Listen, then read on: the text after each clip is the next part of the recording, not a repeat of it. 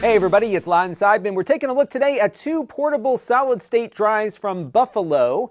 These are budget minded, but actually perform pretty nicely for the price point. We've got the SSD PUT here, which is a USB stick style device, and then a more traditional USB hard drive form factor. This one is called the SSD PG. And we're going to take a closer look at these drives and what they can do in just a second. But I do want to let you know, in the interest of full disclosure, that these came in free of charge to the channel from Buffalo. However, all the opinions you're about to hear are my own. No one is paying for this review, nor has anyone reviewed or approved what you're about to see before it was uploaded. So let's get into it now and see what these drives are all about. Now, the price point on the SSD PG here is $69 for 500 gigabytes, and a one terabyte drive is $99. I think the one terabyte version is the sweet spot here.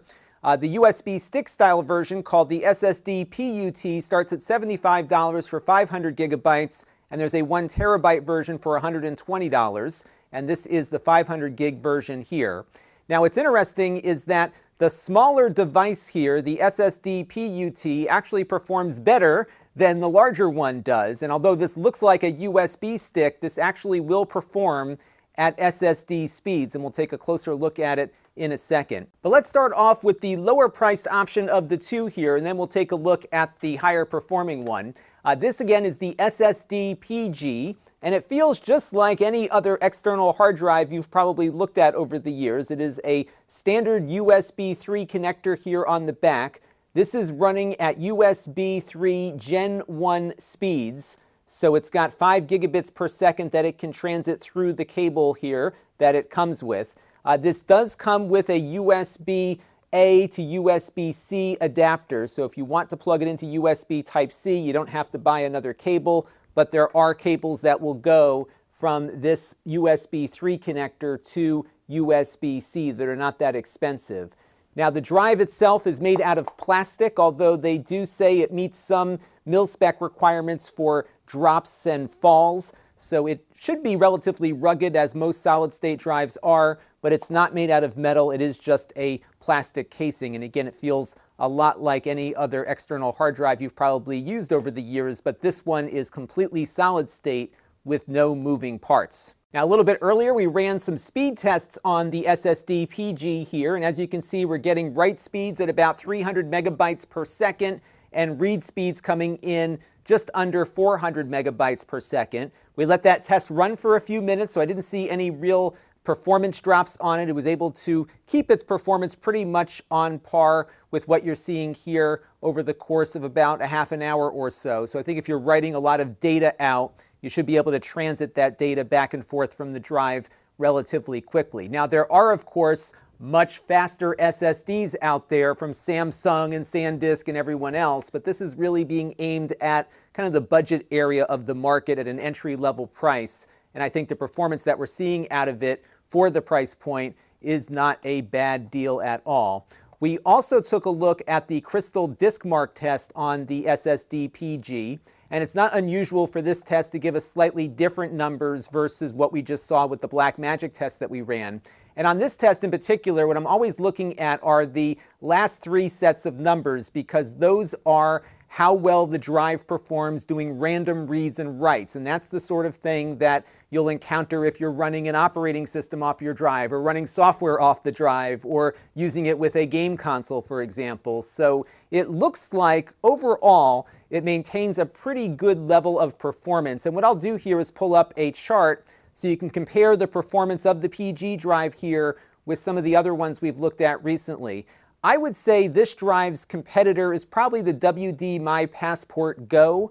Uh, we looked at that one a little while back. And as you can see, especially on the write speeds, the Buffalo Drive here does much better in every category of this test. And it will also transfer data sequentially very quickly too, as you saw during that Blackmagic speed test. Now let's take a look at the other one here. This again is the SSD PUT. And this is much smaller, kind of in a USB stick format. Like the other drive, it comes with one of these inelegant adapters to go to USB Type-C, so you can plug it into your MacBook if you connect it up this way. Now this drive supports USB 3.2 Gen 2 speeds, and to get the best performance out of it, you do need to make sure it's plugged into a Gen 2 port. Many manufacturers will label that port with the USB logo with a little 10 next to it. If your computer doesn't have that, I would refer to the instruction manual to get uh, an idea as to which ports will get you the best performance out of the drive.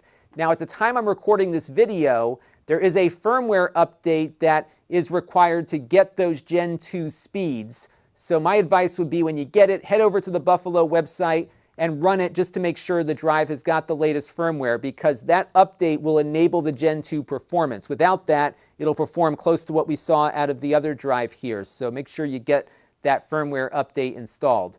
The build quality on this is not spectacular. It's very lightweight plastic.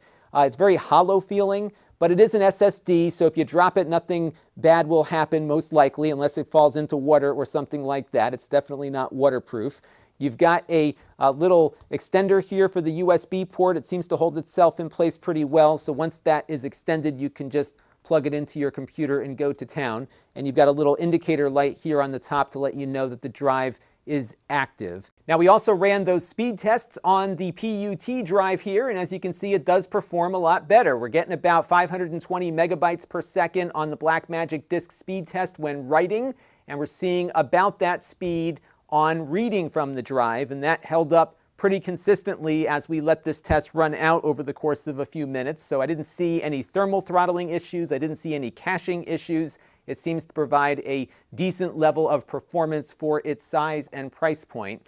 We also took a look at that CrystalDiskMark test on here as well. And if you take a look at those last three rows, the drive here does very well on its random reads and writes. It performs relatively consistently across the board which again is important for operating systems and gaming and other things that will be reading or writing random bits of data from the disk. Now, both of these drives will work with anything that supports an external drive, including game consoles. In fact, they give you a game console specific instruction sheet in the box of both of these. But if you've got a PS5 or an Xbox Series S or X, some of the newer games will not run on these external hard drives, even though they have an SSD. And that's because they're not fast enough to support what developers require out of some of these next gen games. But where these drives can be very useful is that if you've got older Xbox One or 360 games or older PS4 and PS3 games, you can offload those older games from your internal storage on your next gen console over to the external drive. And that, of course, will free up room for more next gen games. But most of the next gen games will not work off of either of these drives, even though they are pretty quick, and your console will tell you which games can run versus which ones cannot. So overall, I don't have much to complain about here. These drives are very competitively priced. They're no frills. They perform quite well, especially the little one here. And if you're looking for something simple to plug into your computer or game console or tablet, both of these will work just fine and I think are very competitively priced for the performance that we measured with them. That is going to do it for now. Until next time, this is Lon Seidman. Thanks for watching. This channel is brought to you by the Lon.TV supporters, including gold level supporters Chris Allegretta, Tom Albrecht,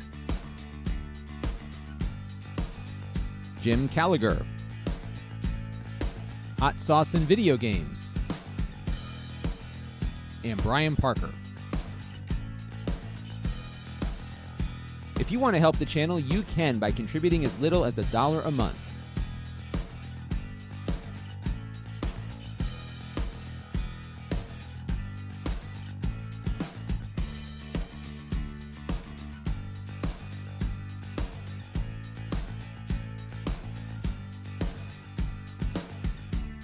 Head over to lon.tv slash support to learn more.